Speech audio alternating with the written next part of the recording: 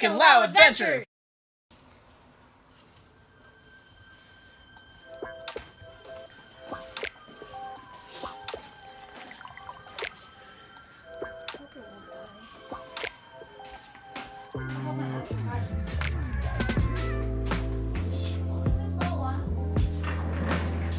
Hello everybody, welcome to another episode on our channel. Today I'm going to be talking about something near and dear to my heart, growing your own food. Yeah, it's January, it's a little bit early, but there are some plants that I want to get a head start on because in this climate, it's kind of hard to get them to fruit as much as they would in a more temperate climate, let's just say that. So today, I'm going to go through the steps that I would go through to get things started from seed. Let's get into it. So these trays are, are 1020 trays, and I have two different sizes that I'm using today. Since I'm only doing a handful of seeds today, it, so anytime you want to start growing your, your plants from seed, make sure to uh, take out the right growing medium. I go with ProMix, which is this big bale right here. This is the mycorrhizal fungi choice. It's a mixture of peat moss and coco coir, as well as other things like perlite and uh, things to make it nice and soft and fluffy.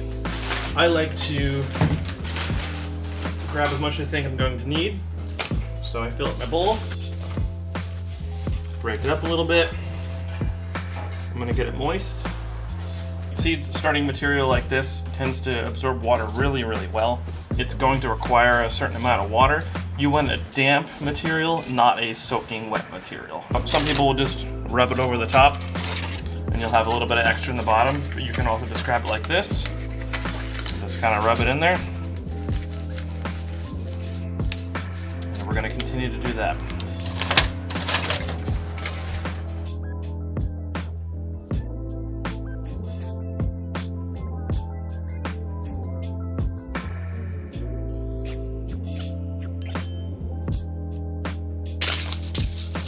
So now that we've moistened our soil, uh, I'm actually going to use this tray for my, my microgreens. I'm going to be growing uh, Russian red or ragged jack kale microgreens. They usually stay pretty tender and are usually harvested at a smaller size. I'm using these because I actually got a free packet from Baker Creek.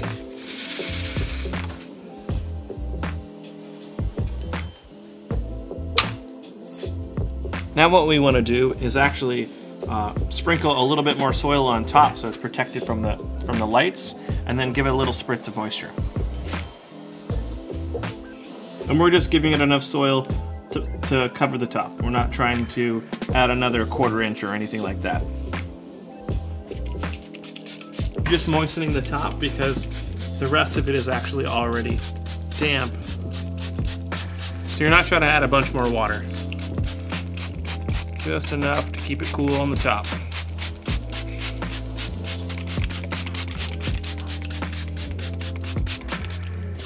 And let it grow.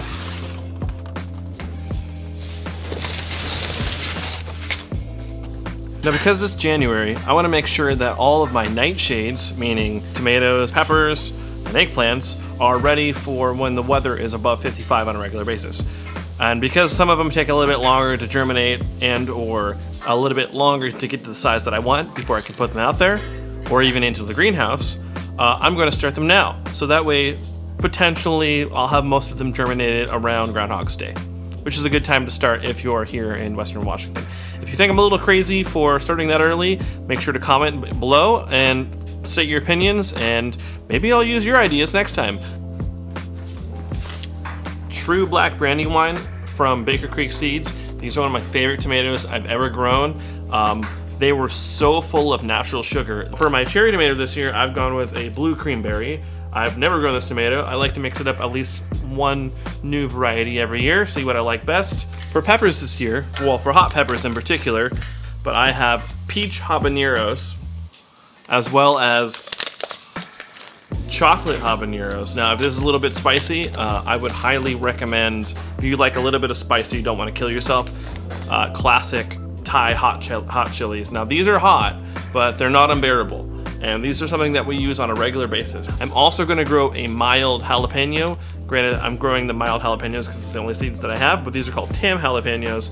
It's almost like, almost heatless, but not quite, pretty close to being heatless. The remainder of the seeds I've chosen for uh, this first planting of the, of the season I'm actually going to grow cabbage for the first time, hopefully successfully. It recommends starting starting between January 19th and February 2nd. I'm also going to start my basil indoors because I got this really interesting, really large Noom Noom basil. It's an African basil, uh, and the leaves are ginormous. Like they're they're big, big boys. I'm to start my nasturtiums early this year, and I can put them outside and hang them all along uh, the house, and even put some near the garden. That'd be really nice cauliflower, this is a snowball variety, as well as two seeds from Wanderlust Nursery in West Seattle. I have their beef and onion plant, also called the toon leaf. It's from China, and it literally tastes like you're eating beef, but it's in a leaf. Uh, I'm also growing the blue sausage tree, or dead man's fingers. It's a really weird looking fruit. If you look it up on YouTube, or on Google, you'll see it. Let's get started with these seeds. So I'm going to start with the plants that are going to take the longest, which are going to be my peppers and my tomatoes. The trick here is taking something like a Sharpie or a smaller pen. And in fact, I usually just use whatever I'm going to use to write my labels. Um, and you make a little divot into each individual one, like so. Just enough room for a seed or two, okay? And then I do a little bit of division in my mind, depending on how many I want for each plant. This one's pretty easy. I'm just gonna go that, and then I'll divide these two up between these guys, like so. Pop this guy open. So I usually go at least two seeds, to ensure germination. These are really small seeds. I don't know if you can see that, but they're really small seeds, so you kind of gotta take it easy. It's okay if you don't end up using them all. You can always save them for the next year. They'll just have a slightly lower germination rate, as long as you keep your seeds cool throughout the year. I have this bundle of labels. Black. Tom's. And I'll set them right there. Just repeat the process. So it's been around three days. Um, I don't know if I pointed this out, but these are actually really inexpensive LED strip lights. They're full spectrum LED. I got them from Wally World. Granted, these are probably not the best lights you can buy, but it's what I could afford at the time when I started my farm back in 2019. And as you can see, I'm already having little sprouts. Those are all the cabbages and even some cauliflower. And in the back are microgreens. There's the update. Okay, so it's been about a month, and it's kind of crazy outside. So instead of starting some of the greens and hardier uh, produce that I actually started, which aren't actually quite as ready as I thought they would be by now, but if you can see, I have at least two trays of plants that are in desperate need of transplanting into something a bit bigger. So I have these two inch pots, two inch by four inch deep, and I'm gonna start transferring these over. These are some of the other ones before. You can see I added a couple others, as well as I picked up a lemon tree, which was fine outside, but it's a it's snowing. It's a it's been a bit of, of a of a crazy month. Obviously, we uh, we had a kid, so I actually chose a potting soil I don't normally use. I went with Edna's Best. It's from E.B. Stone, which is a Northwest brand. So the reason I decided to repot these, one, obviously they're getting pretty big, so they probably need some room to grow, but if you can see, I'm gonna pull one of these guys out, they're completely coated in roots, which means they're, they're definitely running out of space. Now they've had a little bit of extra nutrients, one because it's a mycorrhizal uh, soil starter, means it has lots of mushroom growth in it, but two, I also gave it a little bit of plant food for some of the bigger plants. My technique when repotting plants is I put a nice thick layer at the bottom, like so, and then I stick the, the repotted plant in there and then make sure to get the size and a little bit on top. Now this is actually flowers. I grow specific flowers to take care of pests in the garden. This is what's called an orchid nasturtium. It's going to have characteristics of an orchid, which will protect the garden from aphid attack because aphids love nasturtiums, as well as humans do. We tend to use them a lot in restaurants. Next, because I'm crazy and I decided to plant these way too early, uh, I'm going to be transferring my squash plants. I have two different varieties. One is a zucchini style squash. It's called a Fort Hood. Fort Fort Hood, right? This is an experimental uh, delicata style squash. It's a little bit harder of a squash. It's called a Tetra squash from Row 7 Seeds. They have a lot of really unique products. I highly recommend them. Same process, except can, get a little bit bigger pot. If not, that's okay. Just gives them a little bit of breathing room. These are slightly bigger, so we'll go with these. Make sure when you have multiple varieties of the same kind of plant to give, give it a label, so that way you don't put it in the wrong spot in the garden later on. You can use popsicle sticks, but I like these little white cards. Also, when writing your, your labels, make sure to use something that's permanent um, because moisture tends to cause things like pen or pencil to disappear. We have a number of decorative plants around the house, cactuses and whatnot, and Lau really loves flowers. So these are actually all sunflowers. Have our gray stripe, gray stripe, which are the big ones. You could probably even eat the seeds. And then these guys are actually a decorative um, little sunflower, which don't get very big. I'm actually going to put in this guy.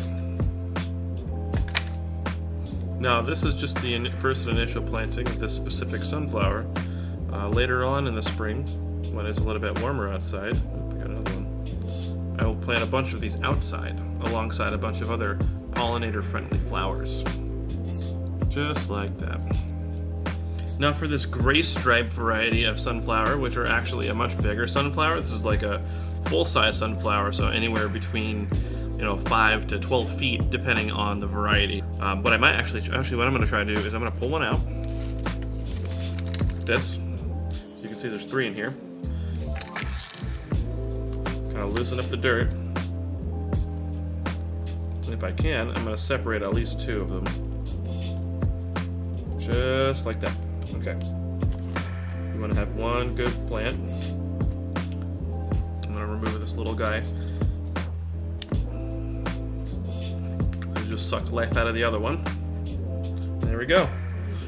Now these are going to grow much faster, so have a spot picked out in your garden before you start thinking about sowing these. You can actually, actually most people would say to directly sow these. I'm doing this because I have limited space and because I'm planning to give them some of these away to you people. If you want some of these plants and you live in the Seattle area, uh, send me a message or comment down below and tell me which plants you're interested in, and I'll see what I can do for you. I'm going to be repotting hibiscus. Now, this is a little bit of an unconventional plant. I don't see a lot of people growing this, but we grew this in 2019 um, in our experimental garden because we had a half acre market garden, and we loved it. It was probably some of the best homegrown tea we've ever had. I highly, highly, highly recommend growing your own tea. Oh, how's your battery? Mine's getting low. Charge it, so at least one of your battery.